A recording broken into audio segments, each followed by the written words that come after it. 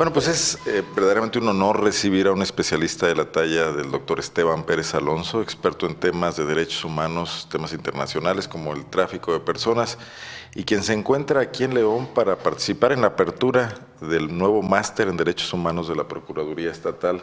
Doctor, gracias por darse un tiempo en una agenda muy apretada en este viaje con fines académicos. Un gusto tenerlo aquí. ¿eh? Muchas gracias a ustedes por, la amable invitación de venir a participar en, su programa y yo estoy encantado de, estar aquí y a su disposición. Hemos leído, hemos escuchado que el tráfico de personas se está convirtiendo ya en un delito de la magnitud del que tenía o del que tiene el narcotráfico o el tráfico de armas, pero con un componente pues aún más delicado por la materia de que se trata, ¿no?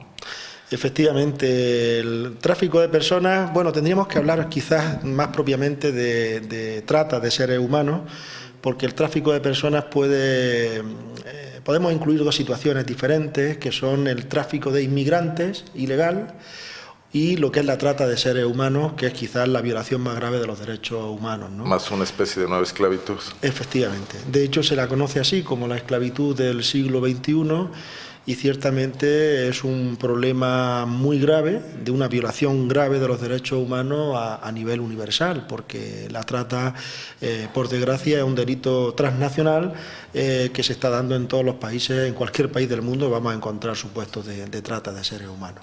Ahora, Europa parece ser el destino de muchas de estas cadenas y más que nada los países occidentales, ¿no? Eh, eh, a ver, eh, en principio sí, o quizás esta es la imagen que tenemos, de que efectivamente eh, la mayor parte o del volumen de negocio que se genera va destinado a Europa o a Estados Unidos, ¿no? al norte de América.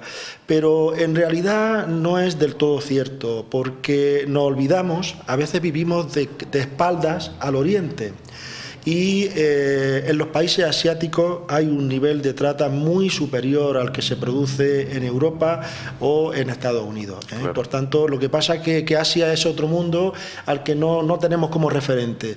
Pero yo diría, los medios de comunicación no lo focalizan ni ellos mismos tienen una sociedad abierta. Efectivamente, efectivamente. Pero más de la mitad de la trata que se produce en el mundo, que se lleva a cabo en el mundo, se está produciendo en, países asiáticos. ¿no? Yo diría que, que un 25% es el que está llegando a Europa y a Estados Unidos, ¿eh? el resto no. Ahora, el, discurso apenas está cobrando fuerza para que los gobiernos le den atención suficiente y viene más bien de organizaciones no gubernamentales o de instituciones que se dedican al estudio que propiamente distancias políticas.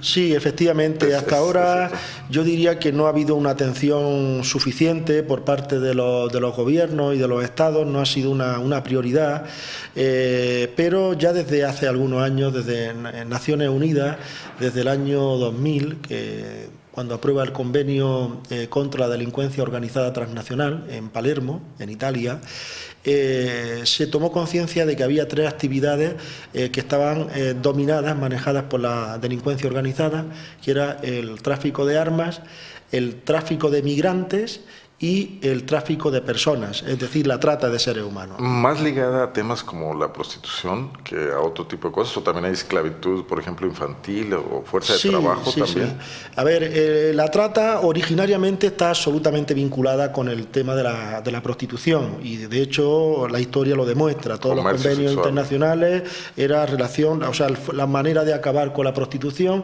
eh, se consideró que era a través de la trata, de, prohibiendo la trata de seres humanos, ¿no? Pero hoy en día ya desde el protocolo de Palermo del año 2000 el concepto de trata es mucho más amplio y las finalidades de explotación de la persona que persigue la trata también se ha ampliado legalmente. Eh, la prostitución sigue siendo, sin duda, eh, el fin principal, pero hay otros fines como el sometimiento a esclavitud en sentido estricto, servidumbre, trabajo forzoso y también la extracción de órganos humanos para, para trasplantes esto suena terrible, ¿no? Sí, sí, sí, sí, Ahora vemos a los gobiernos tratando de combatir algunas manifestaciones del fenómeno. No saben cómo enfrentarse al tema de la prostitución, el debate si se legaliza o no, si se le cobran impuestos o no, si se les da protección social a las trabajadoras sexuales o si se castiga a los usuarios de este servicio. Pero atrás hay un tema enorme y, muy... Eh, ominoso, diría yo, que es alguien está haciendo negocio con esto y ganando mucho dinero, extrayéndolas de sus lugares de origen y llevándolas a otros espacios. Sí, efectivamente. O extrayéndolos porque hay hombres y mujeres. Sí, sí, sí, sí, sí. Niños, ¿no? Sí, de hecho en el concepto de trata ya no va referido solo a las mujeres, aunque son las víctimas principales. Se calcula que el 75% aproximadamente son mujeres y niñas, pero hay un 25% ya de hombres y niños porque como se amplía eh, la finalidad de explotación de la trata, estamos incluyendo también los supuestos de trabajo forzoso eh, o de sometimiento a esclavitud, donde ahí predomina el género masculino. ¿eh? Ahora, se parecen estarse mezclando los dos temas de tráfico de personas, porque también los migrantes están constituyéndose en una fuente de riqueza para quienes controlan las rutas de migración, ¿no? Sí, ese es otro de los ámbitos de la delincuencia organizada. Aquí realmente no se produce un problema de violación de derechos humanos, sino que en realidad aquí lo que se está cuestionando es la política migratoria de, los estados el derecho o el interés que tiene cada Estado en, controlar el tráfico de eh, fronterizo, ¿no? de quién entra y quién no entra en cada uno de los países. ¿no? Por tanto, no hay violación de los derechos humanos, sino que el inmigrante pues, quiere, aspira a tener unas mejores condiciones de vida de las que tiene en su país y eh, por ello intenta eh, ir a otro país en busca de un trabajo. ¿no? Ahora, doctor, hay un gran tema soterrado en todo esto, quizás expuesto, pero a veces no vinculado, el tema de la corrupción gubernamental, oficial, institucional, que es lo que ofrece un, un paraguas de protección Imagino que sí, que tiene que haber supuestos de corrupción, eh, sobre todo en los países en vías de desarrollo, eh, en este tema, ¿no? O sea, corrupción vamos a encontrar en todos los países, pero quizás no sea una de las claves del fenómeno de la, de la, ni del tráfico de migrantes ni de la trata de seres humanos. Mm, evidentemente que hay permisividad eh, social y también por parte de, de, la administración, de los, de los poderes públicos, posiblemente que también viene marcado por los factores culturales en la medida en que todavía no se ha tomado la suficiente conciencia de la ilegalidad de este tipo de actuaciones. Y la prostitución es algo que está socialmente bien visto, o tolerado, eh, eh, se practica mucha prostitución y eh, la sociedad lo está aceptando, no se toma en serio una lucha contra la prostitución, sobre todo contra la, la prostitución forzada, que es realmente la que hay que erradicar Entonces, quiero decir, hay componentes culturales que hacen que se mantengan estas situaciones, ¿no? Y evidentemente, pues los poderes políticos no entran. Luego también hay implicaciones de carácter económico que no podemos obviar, ¿no? Que suele ser funcional desde el punto de vista económico y social este tipo de explotación de, de los seres humanos, ¿no? Eh, claro, si en Estados Unidos están entrando, por poner un ejemplo, o en España, inmigrantes en situación irregular y esos inmigrantes son explotados en España, eso está generando, o en Estados Unidos está generando un beneficio para los empresarios. Por tanto, las propias autoridades americanas o de los lugares donde se produce esa explotación, pues de alguna manera miran para otro lado porque eh, mejora las condiciones económicas. La mano de obra barata. Claro, efectivamente efectivamente.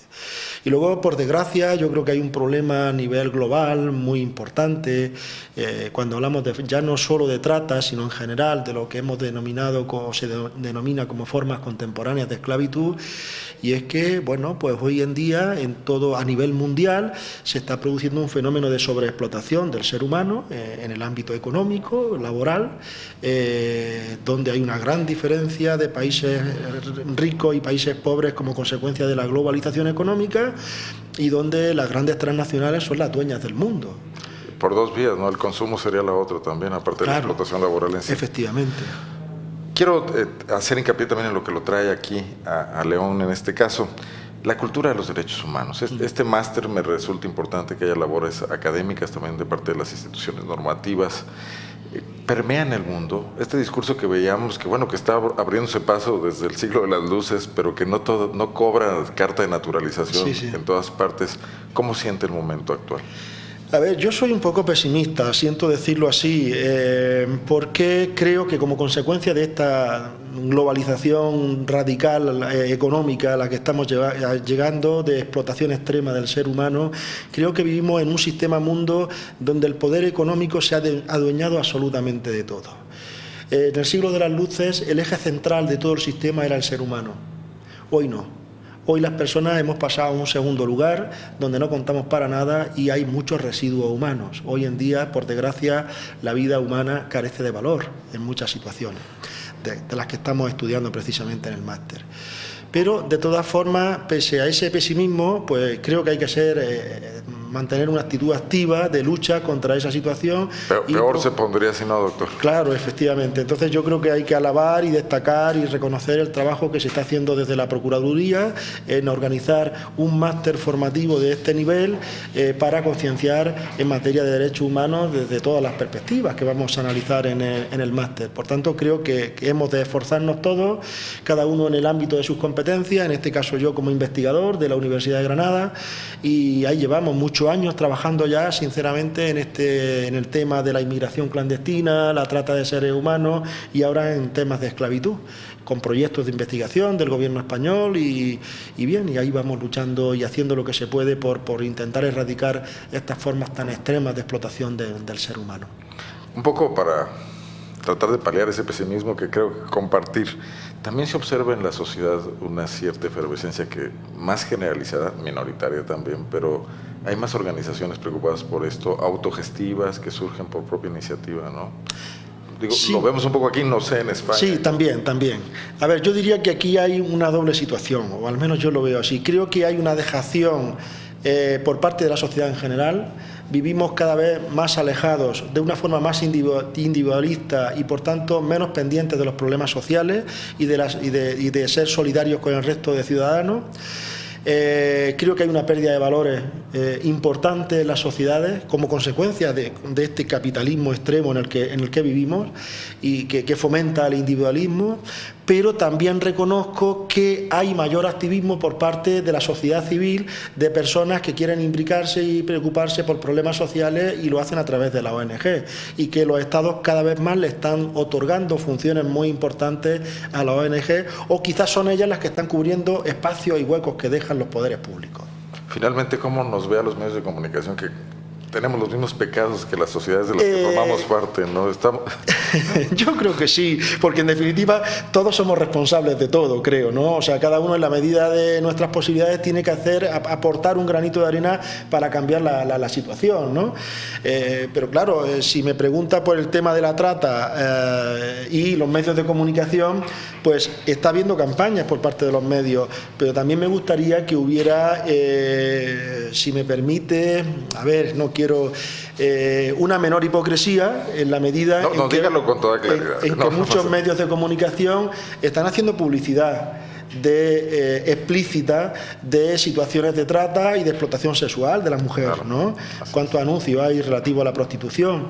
Un doble discurso, una esquizofrenia. Efectivamente. Si la prostitución que se publicita es voluntaria, yo no tengo nada que decir, porque se puede publicitar cualquier servicio. Ahora bien, si los medios no toman medidas para evitar la publicidad de la prostitución forzosa, pues están contribuyendo a esa situación. Una complicidad. Por tanto, pero bueno, creo que también eh, se está trabajando y la denuncia es fundamental de estas situaciones porque creo que los aspectos preventivos de, de estos fenómenos de extrema explotación es necesario llevarlo a cabo y los medios de comunicación son absolutamente necesarios, sin duda pues trataremos de estar a la altura. Es una lucha diaria y muchas veces nos equivocamos. Yo le agradezco mucho que nos haya dado este espacio de tiempo. Mm. Sabemos que está usted muy ocupado. El máster está arrancando precisamente con, el curso que está usted eh, ofreciendo aquí en la Procuraduría de los Derechos Humanos. Y le agradecemos también al procurador Gustavo Rodríguez Junquera que nos haya dado esta posibilidad de estar atentos a lo que pasa y, a, a invitar a algunos de sus participantes, como el doctor Esteban Pérez Alonso. Quiero decir, porque se me pasó al principio, que es usted autor de varios libros, como uno titulado El tráfico de personas e inmigración clandestina, un estudio sociológico internacional y jurídico penal. ¿Se consiguen acá sus libros, doctor? Eh, sí, sí se consiguen, sí. Lo que pasa es que, bueno, este libro está agotado, se ve que ha tenido cierto éxito editorial y hace ya años que está agotado el libro y seguimos trabajando y seguiremos publicando sobre estos temas. Muy bien. Le agradezco muchísimo que me haya invitado a estar aquí con ustedes y poder compartir este rato tan, tan amable con ustedes. Muchas gracias. Vamos a una pausa después de esta entrevista. Tenemos un caso precisamente de derechos humanos, el tema del regidor que agredió a su pareja sentimental y la actuación de la Procuraduría de Justicia, en este caso en el estado de Guanajuato.